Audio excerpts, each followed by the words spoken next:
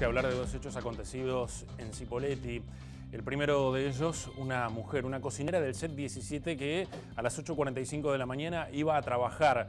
Dos delincuentes la interceptaron y quisieron robarle la cartera. Ella se resistió y porque se resistió, los menores con un cuchillo le cortaron las manos. Tuvo cortes en, las dos manos prácticamente y también tuvo un golpe en la cabeza. No le pudieron eh, robar la cartera. Ella asegura que eran menores de edad, que tiene hijos de 15 y 16 años esta mujer y aseguran que estos delincuentes tendrían la misma edad que sus hijos. Ella iba a trabajar, esto fue a las 8.45, pero 12 horas antes también sucedió una situación muy particular a tan solo dos cuadras de distancia, donde un joven salió de su casa eh, en llamas, literalmente.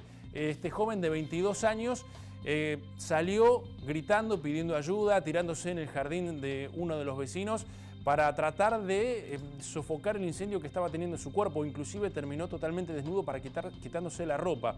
No se sabe cómo, en este caso, se inició este incendio en su cuerpo, aparentemente estaba manipulando combustible o también hay una versión que se habría peleado con uno de sus hermanos y que le habría arrojado nafta. En, fin, no se sabe todavía cómo se inició este fuego, lo concreto es que se está investigando. Este joven de 22 años sufrió quemaduras graves y se está recuperando.